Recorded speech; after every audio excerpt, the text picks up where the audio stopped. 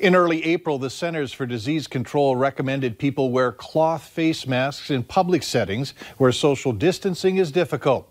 Here are specific do's and don'ts while covering your face.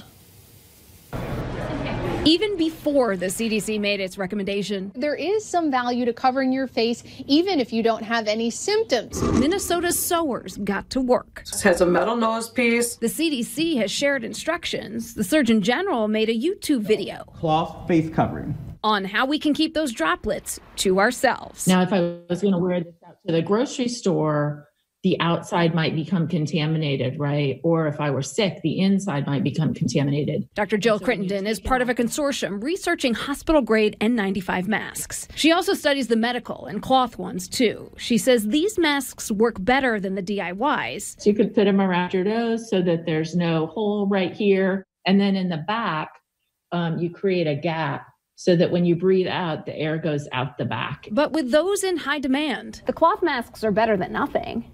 Exactly. And in fact, the double layer woven fabrics are quite effective if you're using them correctly. Adjust the mask over your face, covering your mouth and chin, making sure there are no gaps between your face and the mask. As for what not to do, New Yorker writer Peter Hessler came up with some creative names for that. Here's the holster, where the straps are behind your ears, but the mask is around your neck. Then there's the low rider, where you feel like you're following the rules, but your nose is sticking out. Then there's the flapjack, where you dangle because maybe you want to take a phone call. Wearing the mask while you're speaking is particularly important. Dr. Crittenden says wash your hands before you put it on. Don't touch the mask while you're wearing it. And when you take it off, use the straps. Then wash your hands again. How often should you wash your cloth mask? I wash everything when I get home from the grocery store. She says if you don't come near anyone, a wash every outing isn't as critical. The CDC says washing should be routine depending on how often you use the mask. I think it brings a sense of community that we're all trying to protect Heather Brown, ourselves and each other. WCCO 4 News.